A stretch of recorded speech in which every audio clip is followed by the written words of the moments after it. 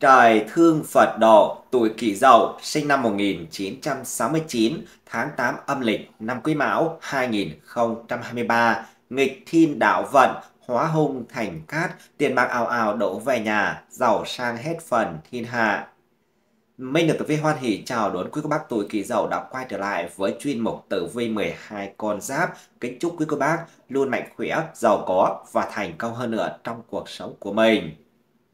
Tuổi Kỷ Dậu sinh năm 1969 được các nhà chiêm tinh học, nhà tử vi học phương Đông đã giải công nghiên cứu và đưa ra dự đoán rằng tháng 8 âm lịch năm Quý Mão 2023 vận trình của quý cô bác tuổi Kỷ Dậu sẽ trải qua một tháng có nhiều biến động, hung cát ẩn tàng. Nhưng nếu như quý cô bác cứ nghiêm túc cố gắng thì sẽ tự tay cải biến được số mệnh của mình. Từ đó những dấu hiệu may mắn cũng sẽ đến. Quý cô bác hiểu duyên xem được video này nên biết tận dụng để nắm bắt thời cơ để giải hung, hóa cát mà chuyển thời, đổi vận, cải biến vận mệnh đi tới cuộc sống an bình, thịnh vượng, giàu sang, phú quý.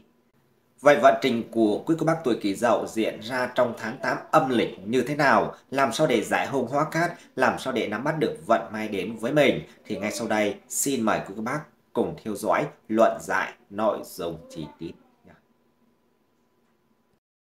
Đầu tiên, xét về tính cách cuộc đời vận mệnh tuổi kỷ dậu, sinh năm 1969. Xem tử vi học phương Đông cho thấy, kỷ dậu là người có trách nhiệm, tính tổ chức và tinh thần kỷ luật cao, họ rất chuyên cần làm việc hiệu quả có khả năng hoàn thành nhiều nhiệm vụ.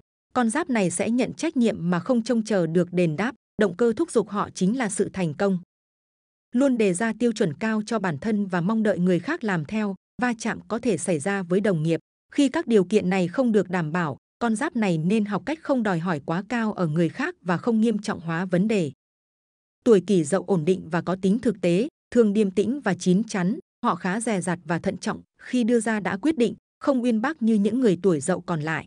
Họ nổi trội bởi trí thông minh mang tính thực tế, kết quả của những quan sát bền bỉ và sự ngấm dần những bài học mà cuộc đời đã dạy. Sự trầm tĩnh của con giáp này có thể chuyển thành những thay đổi mang tính triết lý ở tuổi trung niên. Con giáp này có thể có niềm tin sâu xa ở tôn giáo và các lĩnh vực tâm linh. Ở mặt trái của vấn đề, kỳ dậu thiếu linh hoạt hơn các tuổi dậu còn lại. Họ khá cương quyết và không khoan nhượng trong quan điểm. Cũng như quan hệ với mọi người, kỳ dậu có thể bám quá chặt vào một niềm tin hay quan điểm nào đó, nhất là khi đã đứng tuổi. Kỳ dậu có nhu cầu hết sức lớn về an toàn vật chất và tình cảm, cũng giống như những chú gà chẳng muốn rời xa trang trại. Những người tuổi này nhất là khi sống giữa môi trường quen thuộc đã lâu hoặc không muốn có những trải nghiệm kỳ lạ. Tuổi kỷ dậu, sinh năm 1969 tính khí khá tùy duyên, thuận tiện mà hành xử, làm việc họ cơ trí linh hoạt, tháo vát, có nhiều kế hoạch và sẵn sàng thay đổi theo chiều hướng mang lợi ích đa chiều nhất.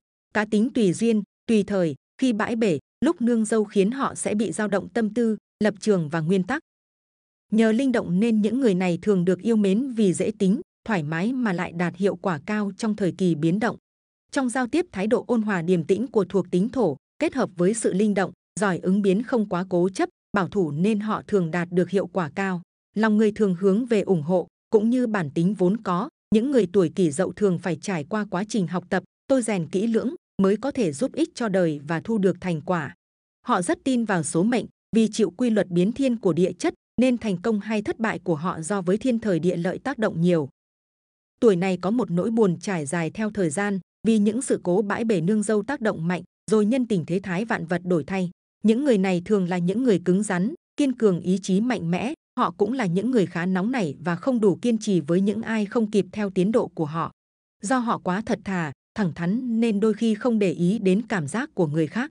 Thực tế những người tuổi dậu lại là những người rất phức tạp và có đôi chút phổ phiến, đặc biệt họ là những người dí dỏm và tràn đầy sức sống.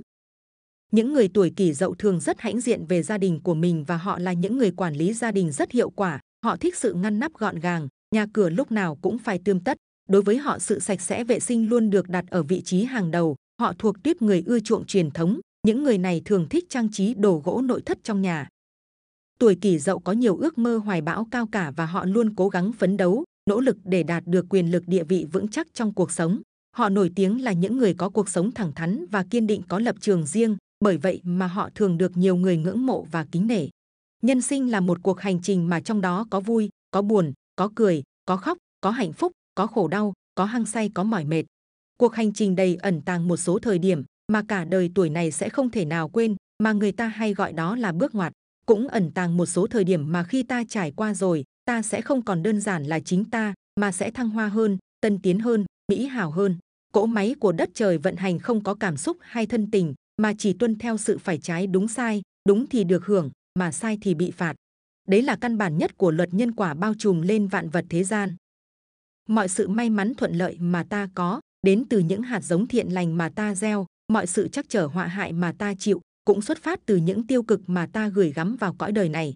Bao nhiêu năm kỷ dậu sống luôn lựa chọn và làm theo việc tuân theo những cảm xúc chân phương nhất của bản thân, luôn lựa chọn sống đúng, sống thiện, làm theo cảm xúc đi theo chân thành. Bao năm ngược xuôi, bao lần vì người ngoài mà chịu đựng nhọc nhằn, nhưng chưa bao giờ khiến cho lựa chọn sẽ tham hơn, sân hơn hay si hơn. Vì hết mình và sống đúng với cảm xúc thật của mình mới là thứ kỳ dậu thỏa mãn trong một kiếp làm người. Sự có thể thành, sự có thể bại, người có thể tốt cũng có thể cháo trở quay lưng. Nhưng dẫu có thế nào kỳ dậu này cũng đã hết mình, hết lòng, hết thần hết ý. Dẫu có thế nào, kết quả có ra sao cũng không hối hận vì đã làm đúng, làm thiện. Nhân sinh là một cuộc hành trình mà ở trong đó vui có, buồn có, có cười có khóc, có hạnh phúc, có khổ đau. Cuộc hành trình ấy ẩn tàng một số thời điểm mà cả đời này có lẽ bạn sẽ không thể nào quên. Người tuổi kỷ dậu không quá quan tâm tới tiền bạc và là mẫu người có tinh thần tự lập cao. Họ luôn biết trân trọng những gì đã đạt được và biết vượt qua khó khăn trong cuộc sống để vươn lên. Tính cách này có thể mang đến cho họ sự phù hợp khi bước chân vào lĩnh vực chính trị. Bên cạnh ấy họ còn là người có tư duy nhạy bén và có lòng dũng cảm. Nếu hoạt động ở lĩnh vực an ninh, quân đội họ sẽ mau chóng được đề bạt lên chức vụ cao. Ngoài ra họ còn có thể lực tốt, sức khỏe dẻo dai, ưa thích các hoạt động thể thao. Nếu trở thành vận động viên cũng rất phù hợp, khả năng thuyết phục tốt, tài tạo lập mối quan hệ. Người cầm tinh con gà hoàn toàn có thể đảm đương công việc ngoại giao, đó là lĩnh vực mà họ nên thử sức nếu muốn trở nên nổi tiếng và có cơ hội làm giàu.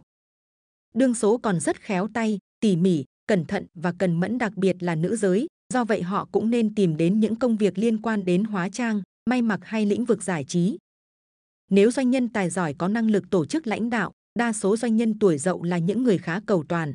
Sau đó họ luôn đặt ra yêu cầu cao đối với bản thân cũng như với mọi người xung quanh, thế nhưng họ thường hành động theo một khuôn thức nhất định trong tư duy. Khi giải quyết một vấn đề nào đó, vì tính cách cứng nhắc này khi gặp phải vấn đề mới ngoài dự kiến, họ đều lúng túng thậm chí không xử lý được. Tuy nhiên, nếu biết linh hoạt mềm dẻo khi nhìn nhận và giải quyết vấn đề, thì công việc của họ sẽ tiến triển thuận lợi hơn. Không ít lần họ tỏ ra bảo thủ, cố chấp, nhưng điều đáng ghi nhận ở họ là sự chăm chỉ trong công việc và lòng nhiệt tình giúp đỡ mọi người. Cũng vì điều này bạn luôn được mọi người yêu mến. Trong lĩnh vực kinh doanh, người tuổi dậu biết cách quản lý tài chính, biết cân đối thu và chi, tận tụy tích cực và chăm chỉ làm việc lại là hai đặc điểm của người tuổi kỷ dậu, giúp họ thành công trong sự nghiệp. Họ cũng có xu hướng đặt sự nghiệp là mục tiêu hàng đầu trong cuộc đời. Có thể nói cuộc đời của người tuổi dậu gặp phải khá nhiều khó khăn chắc trở. Vào những thời điểm quyết định, nếu xử lý công việc không tốt, họ sẽ gặp phải nhiều khó khăn thất bại trên con đường sự nghiệp. Với óc sáng tạo tầm nhìn xa trông rộng, biết định hướng cho tương lai, thái độ làm việc nhiệt tình chu đáo, người tuổi này luôn đi trước người khác một bước trong mọi việc. Cũng chính vì những ưu điểm đó, mà tuy có tài nghệ thuật, âm nhạc và văn học, nhưng rất ít người tuổi dậu hứng thú khi theo đuổi những ngành nghề này. Mặc dù bạn cả đời vất vả, nhưng kết quả lại không tầm thường. Về phương diện vận tài, với tính cách đặc hữu của người tuổi kỷ dậu, sẽ giúp bạn biến hy vọng nhỏ thành rất lớn với lý tưởng cao cả nào đó. Cả đời bạn sẽ có tài vận rất tốt. Mỗi khi bạn cảm thấy cạn túi tiền là tự nhiên sẽ có con đường thu nhập khác giúp bạn giải quyết mọi vấn đề.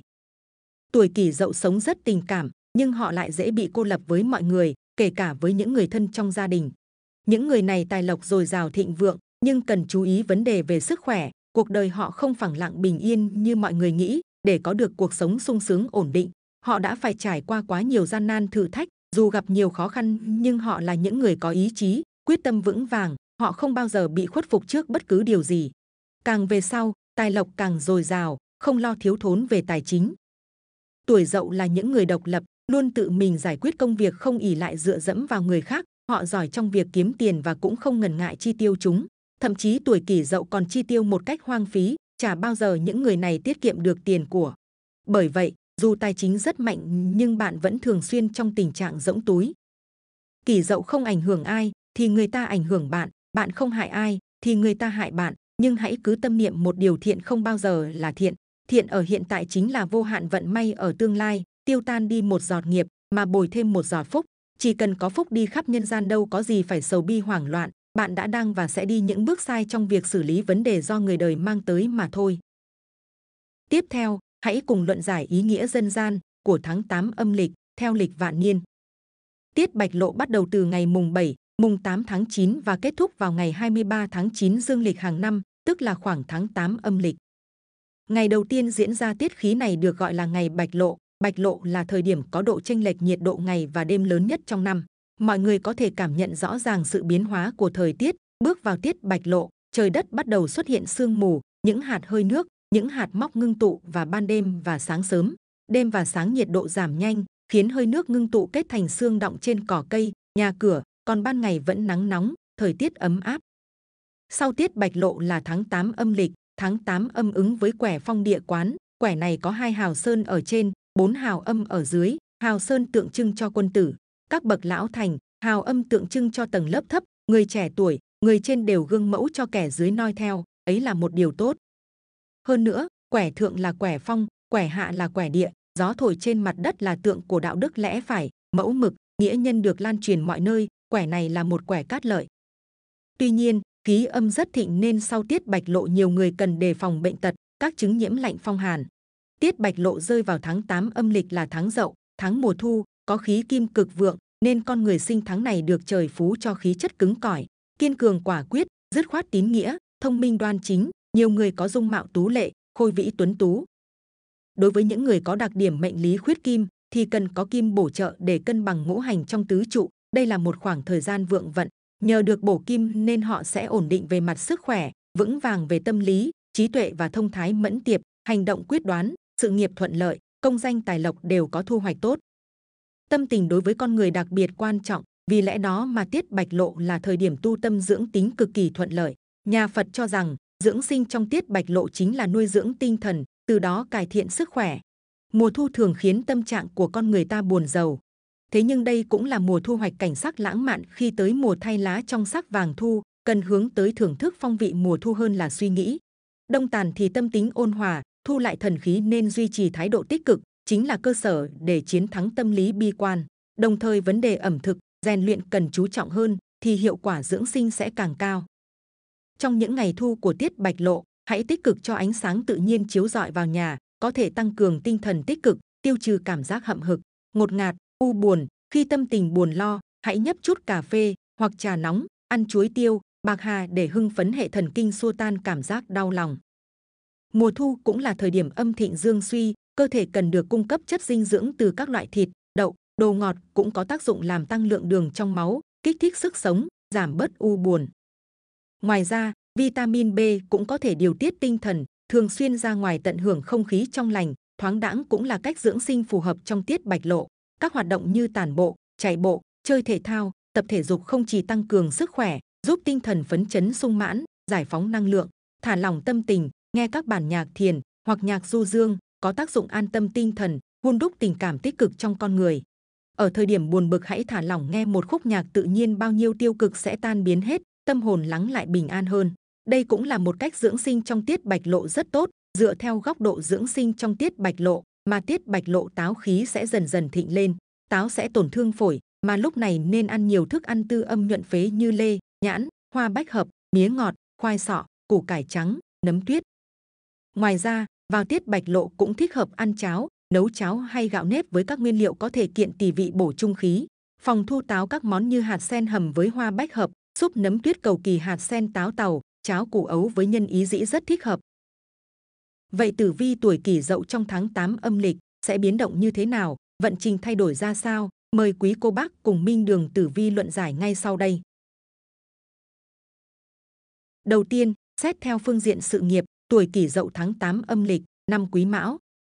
Tháng 8 âm lịch dự báo là tháng bận rộn, nhiều nhiệm vụ cần phải hoàn thành, mỗi ngày làm việc đều khá bận rộn với nhiều trách nhiệm, khi bạn có vô số khối lượng công việc cần phải làm cả gia đình lẫn công sở, bạn sẽ rất đau đầu với những dự án mới, đòi hỏi sự sáng tạo không ngừng, song chưa hẳn đã là một dự án có giá trị cốt lõi. Tuy nhiên, hãy dành việc xem xét đánh giá cho thời gian tới, còn lúc này hãy cho mình trải nghiệm thì hơn. Đừng để căng thẳng khiến bạn không đạt được sự hiệu quả, vì khi đó dù bạn nỗ lực xử lý thì mọi thứ vẫn rắc rối, bạn phải tìm cách để bản thân tập trung hơn. Vì trong khi mọi người bước vào tháng mới bận rộn hối hả, thì dường như đầu óc của bạn giống như trên 9 tầng mây. Sự nghiệp của bạn có dấu hiệu chững lại rõ ràng trong tháng 8 âm lịch này. Nguyên nhân chủ yếu là do bạn bị kẻ tiểu nhân quấy phá, mọi người xung quanh cũng không ủng hộ, cổ vũ cách làm của bạn. Tự hình cho thấy dù bạn có lòng tốt, sẵn sàng giúp đỡ người khác, nhưng chưa chắc đã nhận được sự biết ơn của mọi người. Hãy xem lại cách giúp đỡ của mình, xem mình hành xử như vậy đã đúng hay chưa. Đừng tạo cho người khác cảm giác bạn đang ban ơn khi người khác mắc phải lỗi sai hoặc vô tình làm gì khiến bạn không hài lòng.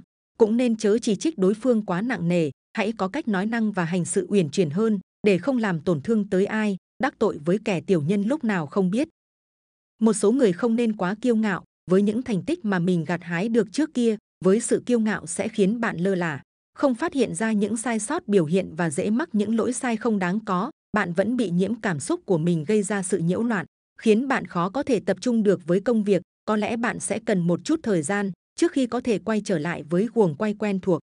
Hơn nữa ở nơi công sở, bạn chớ nên bàn tán chuyện của người khác, vì con giáp thị phi như bạn sẽ bị mọi người xa lánh, trở thành người không đáng tin cậy trong mắt đồng nghiệp. Xét trên phương diện tài lộc, tháng 8 âm lịch của tuổi Kỷ Dậu. Theo tử vi tháng 8 âm lịch, tình hình tài chính có dấu hiệu khởi sắc, nhiều người được đánh giá tăng nguồn thu. Việc kinh doanh nhờ có hậu thuẫn mà vẫn phát triển bất chấp khó khăn, thế nhưng đừng vì những gì đang diễn ra mà tự phụ, không được chủ quan, luôn phải cẩn trọng với những lời mời chào đầu tư trong thời gian này khi thị trường đang đi xuống. Nếu bạn dành thời gian học hỏi thêm, thì bạn sẽ biết rằng thời gian này ai cũng ưu tiên việc đảm bảo an toàn số tiền mình đang có hơn là đầu tư. Nói như thế không có nghĩa là không có cơ hội cho bạn, miễn là bạn phải tìm hiểu kỹ và chịu trách nhiệm với các quyết định của mình. Nhìn chung tháng trung thu này, bản mệnh không gặp rắc rối nào có liên quan tới tiền bạc, miễn là bạn kiểm soát tình hình trong khả năng của mình, đi theo kế hoạch đã định, thì một chút thị phi phát sinh cũng không phải là điều gì đáng ngại. Nếu mắc phải sai lầm, bạn cũng nên dũng cảm thừa nhận, chứ đừng tìm cách đổ lỗi cho hoàn cảnh và mọi người xung quanh. Nếu không khiêm tốn mà tiếp tục huênh hoang khoác lác, thì bạn sẽ chỉ càng ngày càng lún sâu hơn vào những sai lầm mà thôi. Để tránh những rủi ro và tai ương có thể xảy đến, thì bạn cũng nên tập trung vào công việc, đừng nghĩ tới làm những việc không chính đáng như hãm hại người khác. Nếu bạn làm việc xấu thì rất dễ vướng vào chuyện thị phi, thậm chí kiện cáo lao tù. Xét về phương diện tình cảm, gia đạo, tuổi kỷ dậu, tháng 8 âm lịch năm 2023. Tháng này con giáp tuổi kỷ dậu trở nên quyến rũ hơn bao giờ hết, mỗi sự kiện có sự xuất hiện của bạn là ngay lập tức bạn trở thành tâm điểm của sự chú ý cho mọi người. Điều này rất tốt cho những ai đang độc thân. Tuy nhiên với ai đã có gia đình thì nên cẩn thận với những lời tán tỉnh. Bên cạnh đó có những người vì ghen tị mà cố tình gây hại, làm điều xấu bằng cách đặt điều về bạn. Đối mặt với những thông tin ấy, bạn phải bình tĩnh nói rõ chớ nên nhân nhượng với kẻ xấu. Tam hội nâng đỡ nên tình cảm gia đình của con giáp tuổi dậu lúc này khá tốt đẹp. Họ còn là chỗ dựa tinh thần tuyệt vời cho bạn lời khuyên có giá trị khi bạn gặp rắc rối trong chuyện tình cảm.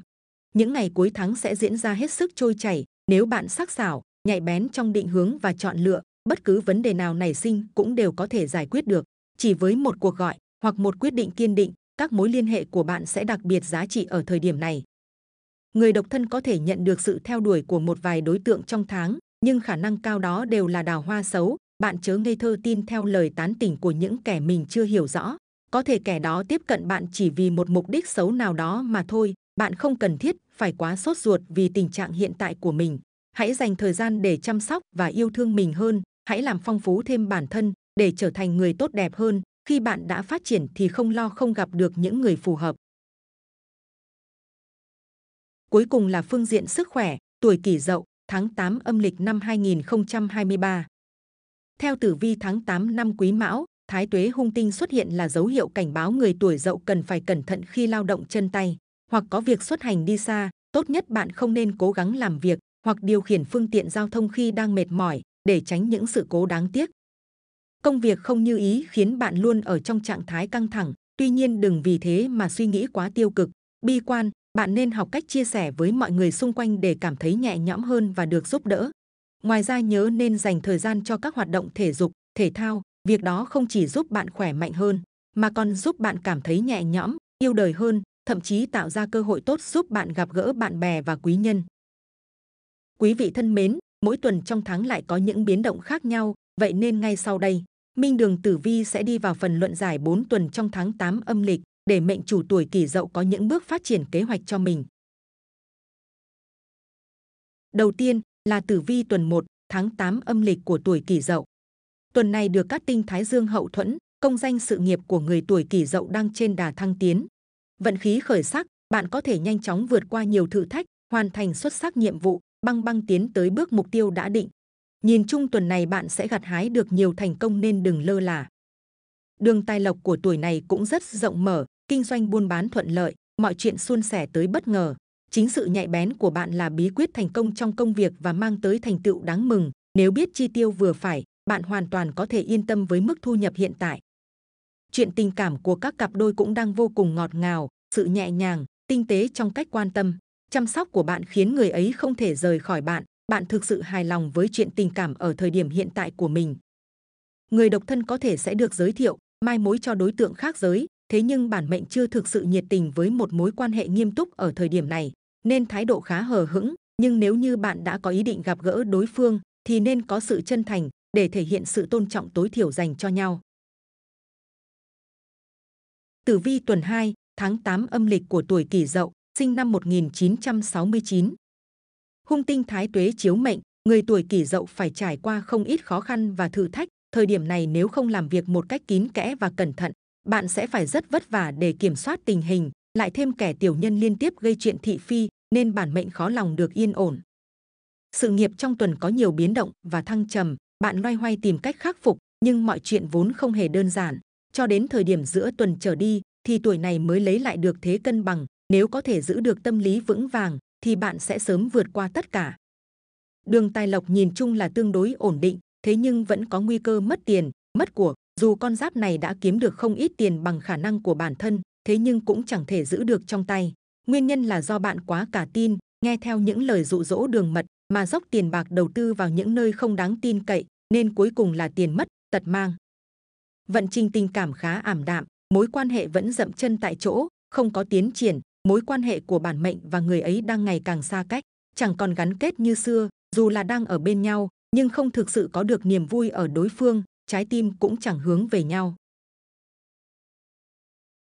Tử vi tuần 3, tháng 8 âm lịch, tuổi Kỷ Dậu, sinh năm 1969. Đây được dự báo không phải là một tuần may mắn đối với người tuổi Kỷ Dậu, do chịu tác động của hung tinh thiên cầu, bản mệnh gặp rắc rối trong công việc, do những đấu đá cạnh tranh âm ỉ trong môi trường làm việc, bạn nên thận trọng trong các mối quan hệ. Không phải ai cũng tốt đẹp như những gì họ thể hiện ra bên ngoài, nhất là khi liên quan tới lợi ích cá nhân. Thời điểm này, bạn nên làm việc một cách chăm chỉ và nghiêm túc để tránh những rắc rối không đáng có và cũng không tạo cơ hội cho kẻ tiểu nhân có cớ đâm chọc, buông lời dèm pha làm giảm uy tín của bạn. Bản mệnh nên cố gắng tập trung hơn, nỗ lực nhiều hơn để giành được những gì mình muốn. Đây còn được coi là một tuần với nhiều tổn thất cho con giáp này. Trên phương diện tài chính, không những sự nghiệp không được suôn sẻ, mà bạn còn thường xuyên phải đối mặt với những mất mát về tiền của. Con giáp này nên thận trọng trước khi ký kết hợp đồng hoặc đầu tư, kinh doanh vào một lĩnh vực mới. Phương diện tình cảm không được tốt cho lắm, đây cũng là điều khiến bản mệnh chăn trở trong thời gian này. Bạn mải mê với công việc mà dần lơ là với mối quan hệ của mình, nhưng thực tế là bạn chưa tìm được cách để cân bằng giữa công việc và tình cảm. Cuối cùng là tử vi tuần 4 trong tháng 8 âm lịch, tuổi Kỷ Dậu, sinh năm 1969. Thiên đức hỗ trợ người tuổi Kỷ Dậu có khởi sắc rõ rệt từ giữa tuần trở đi, đầu tuần không có biến động nào lớn, con giáp này tìm được cơ hội để phát triển bản thân, trở nên nổi bật hơn so với đối thủ hay những đồng nghiệp có năng lực tương đương. Đây là tín hiệu tích cực cho kế hoạch thăng tiến mà bạn đã đặt ra cho chính mình.